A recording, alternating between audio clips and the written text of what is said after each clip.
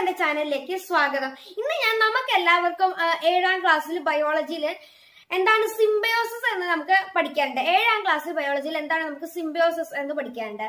അപ്പൊ ഇന്ന് ഞാൻ സിംബയോസിസിനെ കുറിച്ചിട്ടാണ് നിങ്ങൾക്ക് പറഞ്ഞുതരാൻ പോകുന്നത്. അപ്പൊ നമ്മുടെ ക്ലാസ്സിലേക്ക് പോകുന്നതിന് മുമ്പ് ഒരു കാര്യം പറയാം.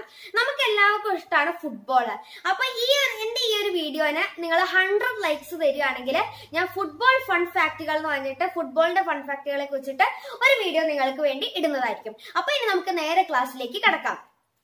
ആദ്യം നമുക്ക് എന്താണ് സിംബിയോസിസ് എന്ന് നോക്കാം. സിംബിയോസിസ് എന്താണെന്ന് വെച്ചാൽ നമ്മൾ ഫ്രണ്ട്സായി അങ്ങോട്ടും ഇങ്ങോട്ടും ഒക്കെ എന്തെങ്കിലുമൊക്കെ എക്സ്ചേഞ്ച് ചെയ്യുകയൊക്കെ ചെയ്യും. അതുപോലെ തന്നെ നമ്മുടെ അനിമൽസും പ്ലാന്റ്സും ഒക്കെ തമ്മിൽ ഉണ്ടാകുന്ന ഒരു തരം ഫ്രണ്ട്ഷിപ്പാണ് സിംബിയോസിസ് എന്ന് വേണമെങ്കിൽ പറയാം. അതായത് ഒരു അനിമൽ ഒരു പ്ലാന്റിനോടോ അല്ലെങ്കിൽ ഒരു അനിമൽ ഒരു അനിമലിനോടോ അല്ലെങ്കിൽ ഒരു പ്ലാന്റ് ഒരു പ്ലാന്റിനോടോ എന്തെങ്കിലും അങ്ങോട്ട് കൊടുക്കും. അതിന് പകരമായിട്ട് അവർ എന്തെങ്കിലും ഇങ്ങോട്ടും തരും. ഇതാണ് സിംബിയോസിസ് വേറൊരു തരത്തിൽ പറഞ്ഞാൽ When two organisms live together and share shelter and food, it's known as symbiosis. Together എന്നർത്ഥം വരുന്ന സിം എന്ന വാക്കിൽ നിന്നും ലിവിങ് എന്നർത്ഥം വരുന്ന ബയോട്ട് എന്ന വാക്കിൽ നിന്നുമാണ് സിംബയോസിസ് എന്ന് പറഞ്ഞിട്ടുള്ള ഈ ഒരു വാക്യം രൂപം കൊണ്ടത്. ഇനി നമുക്ക് എന്താണ് സിംബിയോസിന്റെ എക്സാമ്പിളുകൾ എന്ന് നോക്കാം. ഞാൻ നേരത്തെ പറഞ്ഞതുപോലെ തന്നെ സിംബിയോസിസ് ഒന്നെങ്കിൽ രണ്ട് അനിമലുകൾ തമ്മിലാവാം. അല്ലെങ്കിൽ രണ്ട് പ്ലാന്റുകൾ തമ്മിലാവാം. അല്ലെങ്കിൽ ഒരു അനിമലും ഒരു പ്ലാന്റും തമ്മിലും സിംബിയോസിസ് വരാവുന്നതാണ്. ഇതാണ് സിംബിയോസിന്റെ എക്സാമ്പിൾ എന്ന് പറഞ്ഞാൽ നമുക്ക് മിക്ക ആൾക്കാർക്കും മനസ്സിലേക്ക് ഏറ്റവും ആദ്യം ഓടി വരിക ലൈക്കനുകളെ കുറിച്ചിട്ടായിരിക്കും. നമ്മൾ നമ്മുടെ നമ്മുടെ വീടിന് ചുറ്റുമുള്ള പാറപ്പുറത്തോ അല്ലെങ്കിൽ ഏതെങ്കിലും ഒരു തെങ്ങിന്റെ തെങ്ങിൻ തടികളിലോ ഒക്കെ ഒരു എന്തെങ്കിലും ഒരു വെള്ളപ്പൊടി പോലത്തെ ഒരു സാധനം പറ്റി പിടിച്ചിരിക്കുന്നത് കാണാൻ പറ്റും. ഇതാണ് ലൈക്കനുകൾ എന്ന് പറയപ്പെടുന്നത്. ഇത് സത്യം പറഞ്ഞാൽ ഒരു ആൽഗയും ഒരു ഫംഗസും തമ്മിലുള്ള സിംബയോട്ടിക് റിലേഷൻഷിപ്പാണ് ഈ ഒരു ലൈക്കനായിട്ട് വരുന്നത്. അതായത് ഓരോ ലൈക്കനും ഒരു ആൽഗയും ഒരു ഫംഗസും തമ്മിലുള്ള ഒരു ഫാമിലിയാണ് ഇതെന്താണ് ഇതിനെ സിംബിയോസിസ് എന്ന് വിളിക്കാൻ കാരണമെന്ന് നോക്കില്ല പറയട്ടെ. ആൽഗ എന്ന് വെച്ചാൽ അതിന് സ്വന്തമായിട്ട് ക്ലോറോഫിൽ വെച്ചിട്ട് ഭക്ഷണം പാകം ചെയ്ത് ഉണ്ടാക്കുന്ന ഒരാളാണ്. എന്നാൽ ഫംഗസിനോ അങ്ങനെ ക്ലോറോഫിൽ ഒന്നുമില്ല ഭക്ഷണം പാകം ചെയ്യാനൊന്നും പറ്റില്ല. അതുകൊണ്ട് ആൽഗ ആൽഗ സൺലൈറ്റും എല്ലാം വെച്ചിട്ട് ഫുഡ് ഉണ്ടാക്കും. എന്നിട്ട് അത് ഫംഗസിന് ഫുഡായിട്ട് കൊടുക്കും. അപ്പൊ എന്തുണ്ട്? ഫംഗസിന് ഗുണാണ് എന്താ ആൽഗയ്ക്ക് എന്താ ഗുണമെന്നല്ലേ? ആൽഗയ്ക്ക് ജീവ ആൽഗയ്ക്ക് വളരാൻ ഒരു നനവുള്ള സ്ഥലം വേണം. ഫംഗസ് ആൽഗയ്ക്ക് ഒരു നനവുള്ള സ്ഥലം കൊടുക്കുന്നു. ആൽഗയ്ക്ക് ഫുഡ് പ്രിപ്പയർ ചെയ്യാനുള്ള ഫുഡും ന്യൂട്രിയൻസുകളും വെള്ളവും എല്ലാം കൊടുക്കുന്നു. അപ്പൊ രണ്ടാൾക്കാർക്കും ഗുണമുണ്ട്. ഇതിനാണ് സിംബയോസിസ് എന്ന് പറയുന്നത്. സിംബയോസിന്റെ അടുത്ത എക്സാം അടുത്ത എക്സാമ്പിൾ ആണ് റൈസോബിയം എന്ന ബാക്ടീരിയോ റൈസോബിയം എന്ന ബാക്ടീരിയയും ലെഗ്യൂമിനസ് പ്ലാന്റ്സുകളും തമ്മിലുള്ള റിലേഷൻഷിപ്പ് ഇത് എങ്ങനെയാണെന്ന് നോക്കാം. റൈസോബിയം എന്ന ബാക്ടീരിയ അറ്റ്മോസ്ഫിയറിന്റെ എഴുപത്തേഴ് ശതമാനവും നൈട്രജൻ ആണെന്ന് നമുക്ക് എല്ലാവർക്കും അറിയാം. ആ നൈട്രജൻ പക്ഷെ പ്ലാന്റ്സിന് ഉപയോഗിക്കാൻ പറ്റില്ല.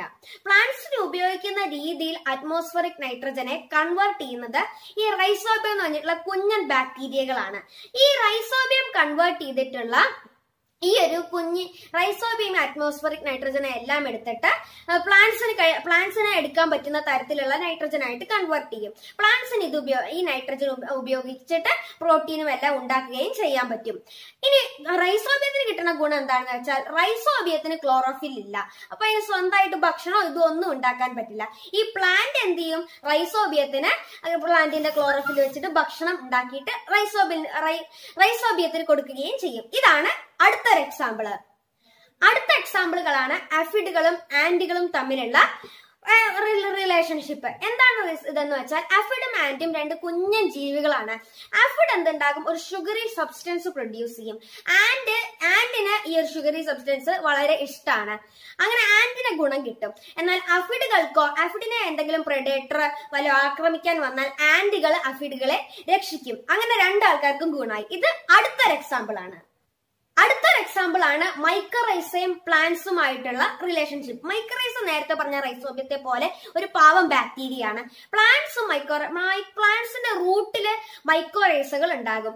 നേരത്തെ പറഞ്ഞ പോലെ തന്നെ മൈക്രോറൈസയ്ക്ക് സ്വന്തമായിട്ട് ഭക്ഷണം ഉണ്ടാക്കാൻ പറ്റില്ല. അപ്പൊ പ്ലാന്റ്സ് എന്ത് ചെയ്യും? ഭക്ഷണം ഉണ്ടാക്കിയിട്ട് മൈക്രോറൈസയ്ക്ക് കൊടുക്കും. അതേസമയം മൈക്രോറൈസ പ്ലാന്റ്സിനോ ന്യൂട്രിയൻസും വെള്ളവും ഒക്കെ മണ്ണിൽ നിന്ന് എടുക്കാൻ മൈക്കറൈസ പ്ലാന്റിനെ സഹായിക്കും. അങ്ങനെ രണ്ടാൾക്കാർക്കും ഗുണാകും. ഇത് അടുത്തൊരു എക്സാമ്പിൾ ആണ്.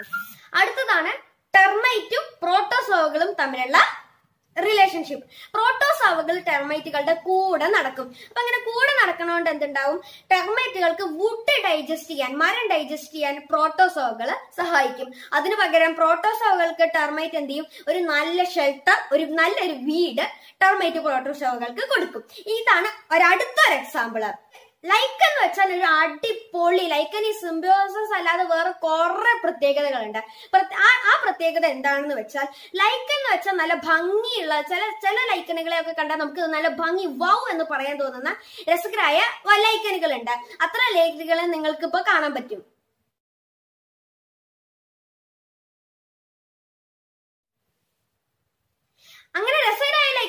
നിങ്ങൾ കണ്ടല്ലോ. അതുപോലെ വേറൊരു ലൈക്കിന്റെ പ്രത്യേകത എന്താന്ന് വെച്ചാൽ ലൈക്കൻസ് ആർ പൊല്യൂഷൻ ഇൻഡിക്കേറ്റേഴ്സ് ഒരു പൊല്യൂഷൻ ഒരു സ്ഥലത്തുള്ള വായു നല്ല മലി മലിഞ്ഞ മലിനീകരണം ഉള്ളതാണോ? അതോ അത് നല്ല ക്ലീൻ ആണോ എന്നൊക്കെ നോക്കാൻ അവിടുത്തെ ലൈക്കനുകളെ നോക്കിയാൽ മതി.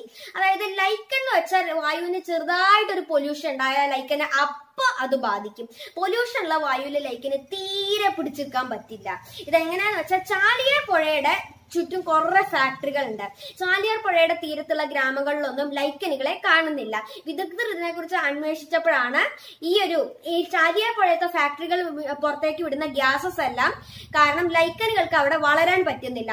അതുകൊണ്ട് ഒരു സ്ഥലത്ത് നല്ല ക്ലീൻ എയർ ആണോ അതോ നല്ല പൊട്ട ഹെയർ ആണോ എന്നറിയാൻ അവിടുത്തെ ലൈക്കനുകളെ നോക്കിയാൽ മതി. ലൈക്കനുകളെ ഭക്ഷണമായിട്ട് കഴിക്കുന്ന ചില ജീവികളും ഉണ്ട്. നമ്മുടെ ഒട്ടകത്തിന്റെ ഒക്കെ കുടുംബത്തിലുള്ള ലാമ എന്ന് പറഞ്ഞിട്ടുള്ള ജീവിക്ക് ലൈക്കനുകളെ പ്രിയ ഭക്ഷണമാണ്. ഈ ലാമേനെ കുറിച്ച് ഇനി ഇതേ ക്ലാസ്സിൽ തന്നെ നമ്മൾ വരുന്ന പാഠങ്ങളിൽ പഠിക്കാൻ പോകുന്നുണ്ട്. ഇപ്പൊ ഞാൻ ഇതുവരെ നിങ്ങൾക്ക് പറഞ്ഞു തന്ന എല്ലാ സിംബിയോസിന്റെ എക്സാമ്പിളുകളും ദാ ഇവിടെ ആയിട്ട് ഇപ്പൊ നിങ്ങൾക്ക് കാണാൻ പറ്റുന്നതാണ്. ഇത് നിങ്ങൾക്ക് ഉപകാരപ്പെടും.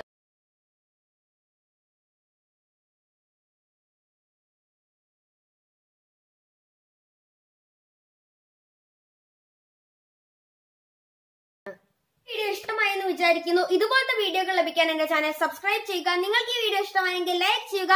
അടുത്ത വീഡിയോ വരെ ബൈ!